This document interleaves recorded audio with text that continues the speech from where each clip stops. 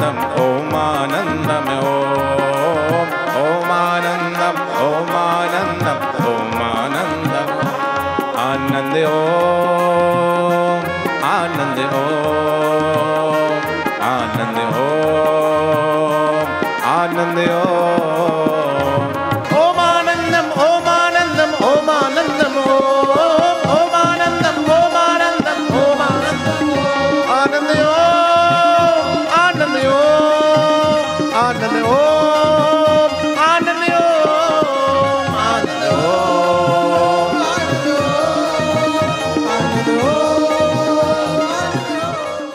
आप जाएँगे तो कोई ना कोई तोहफा लेके जाना।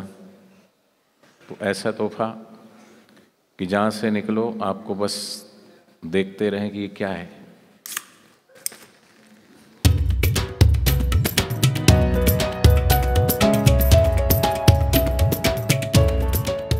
दिवाली शिविर में यहाँ पर आज सात, दस हज़ार आ रहे हैं तो लाखों बच्चे आए। चाहते कि नहीं चाहते? तो यहाँ से संकल्प लेकर के जाओ कि सब के सब एक एक एक बाल संस्कार चलाओ। बाल संस्कार चलाना बहुत ही आसान है।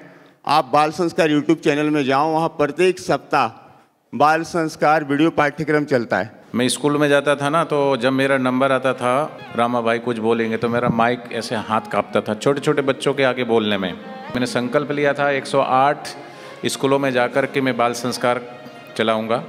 मुश्किल से 10 स्कूल ही हुए, हो पाए थे, और बापूजी को जब मैंने दिखाया सारे फ़ोटो, बापूजी बहुत प्रसन्न हुए, बोले, एल्बम छोड़ के जाना, मैं और देखूँगा। और फिर मुझे थोड़े दिन बाद ही बापूजी ने आज्ञा की कि तू सत्संग किया कर जा करके, सत्संग की सेवा मेरे को गुरुजी ने दी।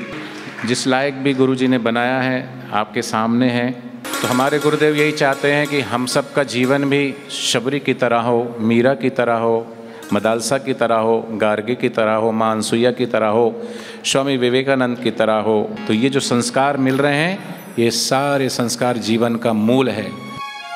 तो इस मूल को सींच रहे हैं हमारे गुरुदेव। जैसे वृक्ष के मूल को सींचने से सारा वृक्ष हरा भरा हो जाता है, ऐसे ही हमारा जीवन भी महकेगा, खुशहाल होगा। बस हम अपने गुरुदेव के वचनों के अनुसार चलें। मन राम नाम गुण गा, साईं आशा राम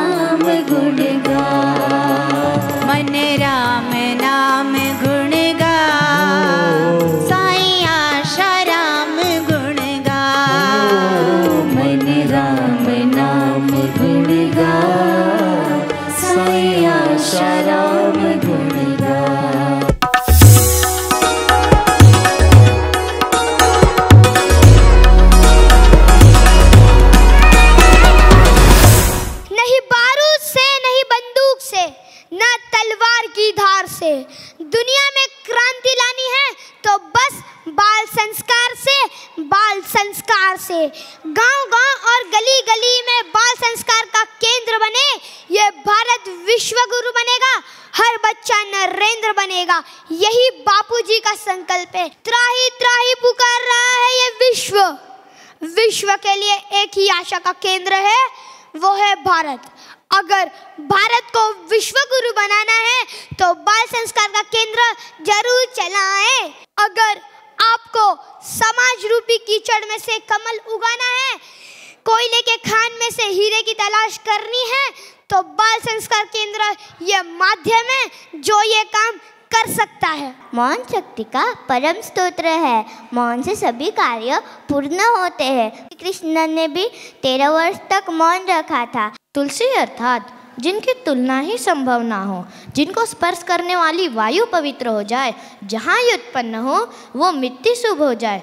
जिनके पूजन से मन अलौकिकता से भर जाए और जो असाध्य रोगों का नाश करने वाली है ऐसी अमूल्य तुलसी जी की तुलना आखिर किससे की जा सकती है? इसलिए हमारे ग्रंथों में तुलसी को माता का दर्जा दिया गया है। विद्या गुरुदेव के मुख में ही वास करती है और वह उनकी भक्ति से ही प्राप्त होती। यह बात तीनों लोकों में मानव पितरों और देवों द्वारा मानी गई है। कहा तो नगर सेठ का बेटा। अब गुरु के आश्रम में माटी हाथ में लेकर जी जान से सेवा करते थे। बापूजी के इसी सेवा निष्ठा अब समर्पण के भाव को देखकर लीला शाह जी का हृदय झलक उठा। तो आंसूमल से सही आश्रम बना दिया। इस संसार में जो कुछ भी मिलता है, छूट जाने के लिए ही मिलता है, सिवाय एक बात छोड़कर, और वो है गुरु का ज्ञान। इसीलिए मेरा मानना है, तुम भगवान से भी पहले गुरु को मानो, क्योंकि वो जो कुछ भी देते हैं उसके सामने इंद्र पद भी छोटा पड़ जाता है। किसी को स्वर्ग का ऐश्वर्य मिले पर आत्मज्ञान न मिले तो वो आदमी अभागा है। बाहर का ऐश्वर्य मिले, चाहे न मिले, अपितु ऐसी कोई कठिनाई हो कि चंडाल के घर की भीषा ठीकरे में खाकर जीना पड़े। फिर भी आत्म आत्मज्ञान मिलता हो, उसी देश में रहना चाहिए। उसी वातावरण में अपने चित्त को परमात्मा से लगाना चाहिए। आत्मज्ञान में तब तक मनुष्य ही अपने आप का मित्र है। त्रिकाल संध्या माने हृदय रूपी घर में तीन बार बुहारी। इस समय ध्यान, जप प्राणायाम आदि करने से मन की चंचलता दूर होती है एवं मन एकाग्र होता है। इस समय सुषुम्ना नाड़ी के द्वार खुल जाते हैं। संध्या के समय पढ़ने से बुद्धि का नाश, भोजन करने से स्वास्थ्य की हानि और सोने से आयु कम होती है। माता पिता से बढ़कर जग में कोई भगवान नहीं और इनका ऋण झुका सकूँ, ऐसी मैं धनवान नहीं। इनका ऋण झुका सकूँ, ऐसी मैं धनवान नहीं। जीवात्मा का परमात्मा से मिलन ही, संध्या का सही अर्थ है। अगर हम अपने शास्त्रों में झांके तो हमें पता चलता है कि भगवान श्री कृष्ण संध्या करते थे, भगवान श्री राम संध्या करते थे। यहाँ तक कि भगवान श्री राम के गुरु वशिष्ठ मुनि भी संध्या क्या करते थे। इस युग की बात करें तो मुसलमान नमाज़ पढ़ने में इतना विश्वास रखते हैं कि वो अपने चालू ऑफ़िस में भी समय निकाल कर नमाज़ पढ़ने जाते हैं। आपने कई ग्रंथों में पढ़ा होगा अथवा सुना होगा कि इस्लाम धर्म की स्थापना मोहम्मद पैगंबर ने की। ईसाई धर्म की स्थापना यीशु मसीह ने की और जैन धर्म की स्थापना ऋषभदेव अथवा आदिनाथ ने की। परंतु आपने कहीं ये नहीं सुना होगा कि सनातन धर्म की स्थापना भगवान श्री राम ने की अथवा सनातन धर्म की स्थापना भगवान श्री कृष्ण ने की। परंतु भगवान श्री कृष्ण और भगवान श्री राम ने जिस धर्म में अवतार लिया, उस धर्म का नाम है सनातन धर्म। जो सृष्टि के आदि काल से चला आ रहा है उसका नाम है सनातन धर्म। धन हुआ नष्ट तो कोई फ़िक्र नहीं। यदि आरोग्य हुआ नष्ट तो कुछ फ़िक्र की ज़रूरत है। यदि चरित्र हुआ नष्ट तो शेष क्या बचा? जिसम महकाए वो इत्र है और जो ज़िंदगी महकाए वो चरित्र है। जो ज़िंदगी महकाए वो चरित्र है। भगवान कहते हैं अपि चदसी पापे सर्वेभ्य पाप कृतम सर्वम ज्ञान प्लवे ने भुजनम संत ऋषि तू कितना भी भारी पाप, ताप, कुसंग क्या हो, पर निराश होकर कुछ ना कुछ कर डाल मत। तू मेरे प्रिय, मेरे स्वरूप प्रमता गुरुओं के सत्संग रूपी नौका में केवल बैठ जा, यूँ तर जाएगा यूँ। मोबाइल के कारण लोगों की व्यवहारिकता खत्म होते जा रही है।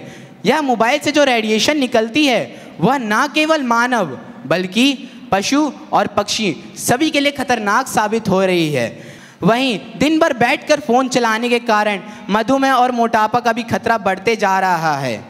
इसका उपाय है जी हाँ जो है सत्संग और सेवा। जिस पद को पाने के लिए देवों का राजा इंद्र भी लालायित होता है वह पद पाने के बाद भी वह योगी हर्षित नहीं होता है। यह है ब्राह्मी स्थिति की महिमा। यह वह पद है जो सदा हमारे साथ रहता है। दुनिया की समस्त संपदाओं में महान संपदा है। पंचभूतों से निर्मित, मानव शरीर की मृत्यु के बाद भी पंच महाभूतों में विलीन होने के बाद भी का अस्तित्व रह जाता है, वह है उस व्यक्ति का चरित्र। एक चरित्रवान व्यक्ति ही समाज, राष्ट्र तथा विश्व समुदाय का सही नेतृत्व एवं मार्गदर्शन कर सकता है। शीलवंत सबसे बड़ा, सब रत्नन की खान, तीन लोक की संपदा, पड़े शील पर आन।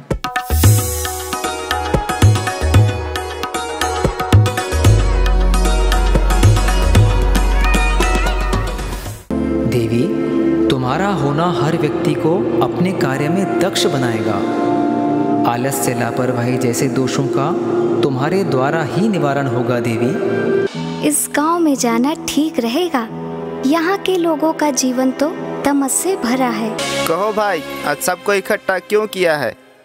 माई बाप पिछले कछु समय से हर घर को एक समस्या ने घेर लिया है। कोई बीमार है किसी के यहाँ झगड़ा है किसी के यहाँ धन की कमी ये समस्या भगवान देते क्यों है माई बाप? अब गाँव वाले जाते हैं उन महात्मा जी के पास। मेरे पास जो व्यक्ति आते हैं उनकी जो भी समस्याएँ हैं उन्हें हल कर दो बस। आप अगर आग्रह करते हैं तो मैं हस्ताक्षर किए देता हूँ। किंतु महात्मा इससे सृष्टि की व्यवस्था बिगड़ जाएगी। ठीक है देख लेंगे। महात्मा जी मैं समस्या हूँ। भगवान विष्णु ने मेरा निर्माण मानव कल्याण के लिए किया है। अगर मेरा वास किसी के जीवन में नहीं हो तो वो पलायनवादी और आलसी हो जाएगा। आपने तो भगवान से वचन लेकर मुझे उस गाँव से भी बेघर कर दिया। अब किसी को भगवत चर्चा में रुचि नहीं। अब महाराज जी से रहा नहीं गया। भगवान तुम्हारी बात ठीक थी। कुछ अटक सटक नहीं होती तो हमारे जीवन का विकास ही नहीं होता। वाह प्रभु। आप जो करते हैं उसी में प्राणी मात्र की भलाई है। वो जो करता है अच्छा ही करता है। हर कदम पर उनकी कृपा से जीवन निखरता है। दो न्याय अगर तो आधा दो पर इसमें भी यदि बाधा हो तो दे दो केवल पाँच ग्राम रखो अपनी धरती तमाम। दुर्योधन वह भी दे न सका, आशीष समाज की ले न सका। उल्टे हरि को बांधने चला। जब नाश मनुज पर छाता है, पहले विवेक मर जाता है। बांधने मुझे तो आया है, जंजीर बड़ी क्या लाया है। यदि मुझे बांधना चाहे मन, पहले तो बाँध अनंत गगन। सुने को साध ना सकता है, वह मुझे बाँध कब सकता है। त्रेता में राम को ना बाँध पाए। द्वापर में ना कृष्ण को। ये कलयुग में फिर क्यों चला है तू बांधने मुझे? पूरा ब्रह्मांड मुझमें समाया है मूढ़मती। ब्रह्म को कब कौन बाँध पाया है? मैं आश्रम जा रही हूँ। क्या रोज रोज आश्रम चल देती हो? बापूजी तो है नहीं वहाँ पर फिर भी रोज रोज जाना है। हेलो रमन जी आप बापूजी वालों के लिए कुछ बोल रहे थे ना? लीजिए बात कीजिए मोनिका बहन से। हरिओम भाई जी क्या आप हमारे बापूजी को जेल से छुड़ा सकते हैं? हाँ बहन जी। हरिओम हरिओम। वहाँ नाका बाज़ार में आप आकर मिलें। मैं आपको वहीं बताता हूँ। भाई जी आप कैसे हमारे बापूजी को छुड़ा सकते हैं? आइए आइए। आप लोग मेरे साथ चलिए। बताता हूँ। ये हमारे विशानंद महाराज हैं। आइए बैठिए। आज तो बड़ा मुर्गा फंसा है। अच्छा तो आप लोग बापूजी को जेल से बाहर लाना चाहती हैं? हाँ हाँ। सही बात है बापूजी जेल में हैं यह सब सेवाएँ सेवाएँ सब बेकार है। बिना मतलब के ऋषि प्रसाद बांटना बाल संस्कार शिविर का आयोजन सत्संग ढोंग और दिखावा है।